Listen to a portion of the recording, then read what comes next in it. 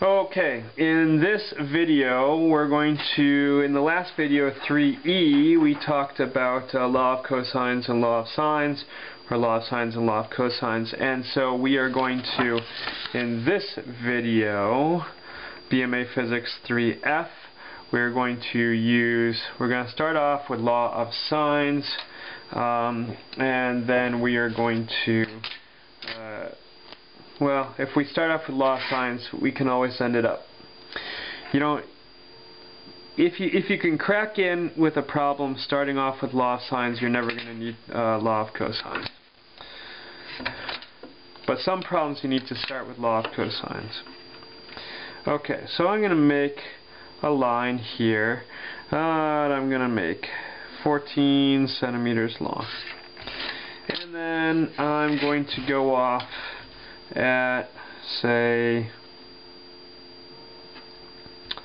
oh, 65 degrees. And so I'm going to go up in 65 degrees, and I'm going to make that 9 centimeters long. So what did I say that was? I said that was 65 degrees. I said this was 14 centimeters. Said that was 9 centimeters. And I want to know what is this distance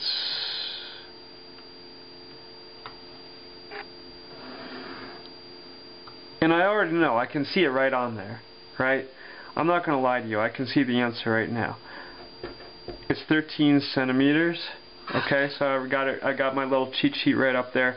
That's 13 centimeters, and um, and I can also figure out using my protractor here. I can figure out this one. I see that's going to be 38 degrees, and I can see this one up here I can tell that that one is going to be 77 degrees.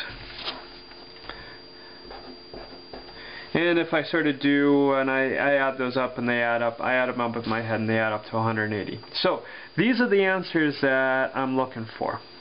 Okay, well, so how are we going to do it? Okay, well right off the bat, um, I said we're going to start with law of sines, but actually we're going to have to use law of cosines the way that I set this up, but that's okay. This is just how it works. Okay.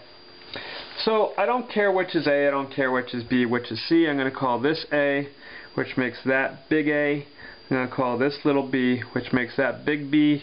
I'm going to call this little c, which makes that big C. And now, my law of cosines, law of law of cosines is going to be c squared is equal to a squared plus b squared minus 2ab cosine c. So I'm going to have c is equal to the square root of 9 squared plus 14 squared minus 2 times 9 times 14 times cosine 65 degrees. Now, here's the thing. Everybody wants to do this in a messed up way on their calculator. They want to just sort of go um, and do it step by step. What's 9 squared? What's 14 squared? Uh, I want to do it all in one shot. And so I'm going to show you how to do it all in one shot. That's why we have powerful calculators to help us with this.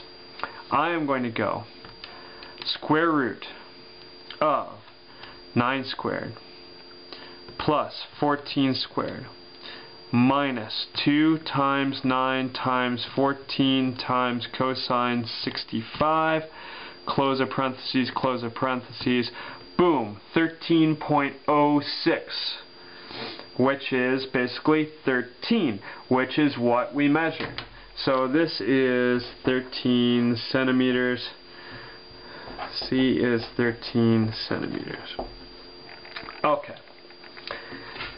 So, we used law of cosines and we found that side.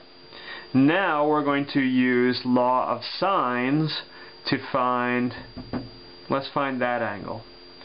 Okay, so if we're going to find that angle, we're going to say, uh, pull it over like this, we're going to say law of sines, sine A over A equals sine, the angle we have is sine C, so big C over side little c. Okay, so I say I'm going to rearrange this to solve for A. So I'm going to say sine A is equal to A times sine C over C. And so I'm going to say that A, angle A, is going to be the sine inverse of A times sine C all over little c. Again, doing some advanced sort of manipulation uh, as an example just because I want you to be smarter and the way we get you smarter is we push the envelope. Sine inverse of little a is 9 times the sine of big C which is 65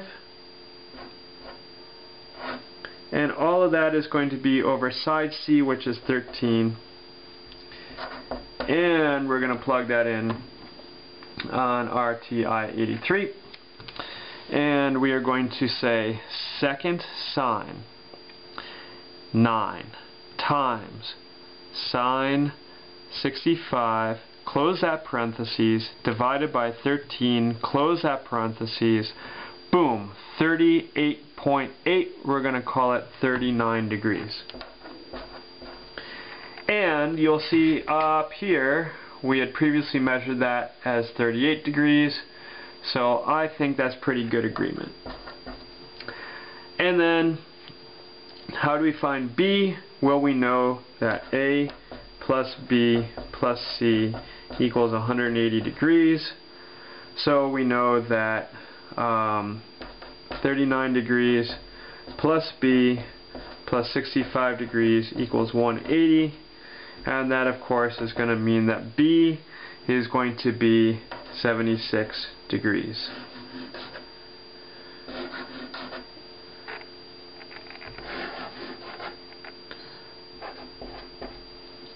Okay, so there we have a general triangle where there is no right angle and we use the law of cosines and the law of sines to solve that. And we'll come back with one more example in the next video.